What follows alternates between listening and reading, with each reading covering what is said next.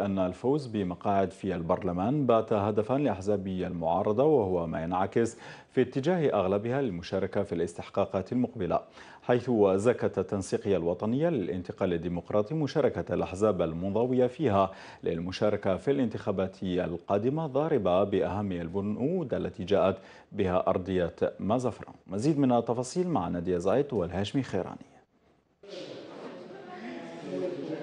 المشاركة في الانتخابات وترك الحرية لاتخاذ القرار للأحزاب السياسية هو القرار الذي باركته تنسيقية الانتقال الديمقراطي في اجتماعها الأخير في تغير مفاجئ لمواقفها المعادية لكل ما له علاقة بالسلطة حيث حاولت الأحزاب المنضوية في هذه الهيئة أن تغطي على قرارها وألبسته عباءة حماية الجزائر باللعب على وتر الاستقرار وسيادتها.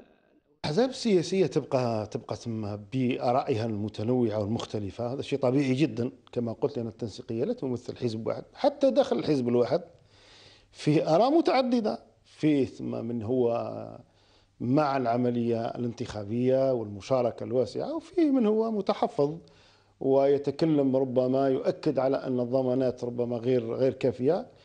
تنسيقية الانتقال الديمقراطي ورغم تغنيها بأرضية مازافران إلا أنها أسقطتها في الماء بترك الحرية للأحزاب خصوصا وأن أهم ما تركز عليه هذه الأرضية هو التوصل لقرار موحد بخصوص القضايا التي تعنى بالمواطنين بالدرجة الأولى. لأن أول شيء التنسيقية ليس بحزب هي مجموعة من الأحزاب وكل لكل أحزاب عندها قيادات وعندها مجالس وقراراتها تتخذ في المجالس وليس في مكان آخر وبالتالي أمر طبيعي.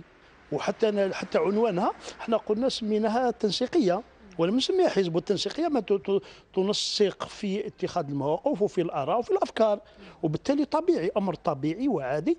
بالرغم من الانتقاد الشديد الذي وجهته أحزاب التنسيقية للسلطة واتهامها بتزوير الانتخابات حتى قبل بدايتها إلا أنها لم تتمكن من التفريط في مقاعد البرلمان وهو ما تجلى في اتجاه أغلب التشكيلات من المعارضة للمشاركة.